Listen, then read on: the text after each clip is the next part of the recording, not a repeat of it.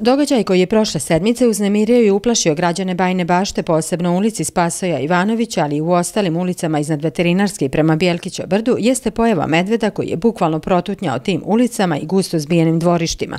Kada je uveč oko 23 sata izašao da ubaci stvari u auto, Rade Jaraković nije ni slutio da će na metar, metar i pod sebe ugledati medveda koji trči uz ulicu.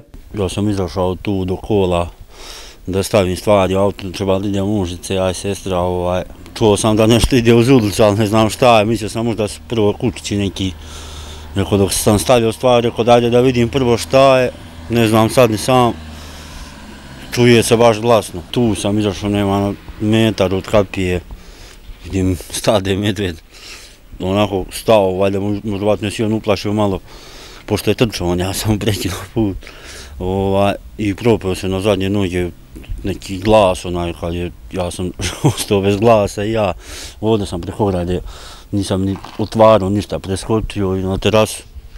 Međutim, posle i on očeo, nije ništa sada je me i udio ili nešto. Glavno mi je prošlo sve kako treba, je do duše nije me napao. To kako je pas reagovao? Pa uplašio se on, kako će. Ja sam čuo da laje, ali šta će pobegao tamo cvili. Vjerovatno nikad nije vidio, osjetio divlju zvijeru. Jesi se uplašio? Pa kako nisam, nije sve jedno, baš nije sve jedno. Radova majka Jelena Jaraković odmah je stavila objavu na društvene mreže kako bi upozorila sugrađane što je kod mnogih izazvalo nevericu. A nisu verovali, mislili da se šalim. Gde da se šalim, po društvu ja nisam verovao sam sebi prvo. Otkud medvedi su kuće, nisam vidio nikad ništa sem kučića, nekih možda bude ovca. ali medveda nisam u životu vidio.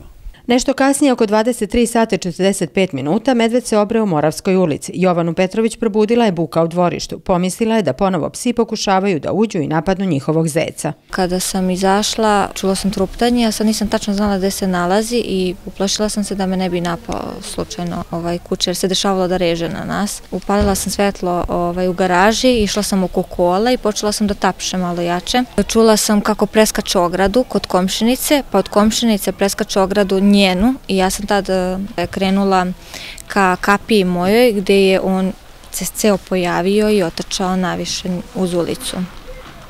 Jeste se uplašila? Je li on im pokazao bilo kakvu reakciju? Pa nije, on se jednostavno plašio. E, mi nemamo inače život, mislim kuće, a komši ostale imaju.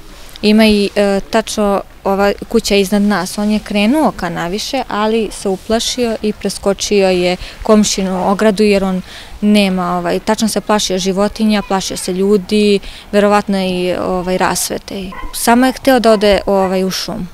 U nacionalnom parku Tara kažu da medved nije markiran pa nemaju informacije o njegovom kretanju. To opet negde posmatramo kao je to jedinstven slučaj, e, jeste da kažemo s jedne strane čudno da je životinja sišla tako praktično što kažu u sam, sam grad, ali s druge strane opet e, znamo da je relativno blizu i planina i sve ovaj, tako da s te strane i nije toliko iznenađujuće kad znamo kolika je brojnost medveda ovaj, na tari i u svemu pretpostavljamo opet da jednostavno medveda nešto, ovaj, da kažemo, skrenulo s nekog njegovog puta, verovatno ga je nešto uplašlo, pa je iz tog razloga, ovaj, da kažemo, za za luta u grad nije, znači ono sigurno bila potraga za hranom, jer generalno rodna je godina bila i građani su zvali policiju i renđere, bili su tu, ne znam, i lovci, jednostavno su, da kažem, uplašli medveda i medved je pobego nazad ovaj, u šumu, evo, prošlo već nekoliko dana, znači nije se pojavljivo ponovo. Na planini Tari živi najveća populacija mrkih medveda u Evropi. Dešava se da mlađe jedinke dnevno pređu i do 60 km.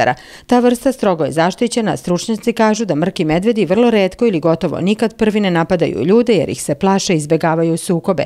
Ipak sresti ih u gradu u noći nije nimalo svejedno.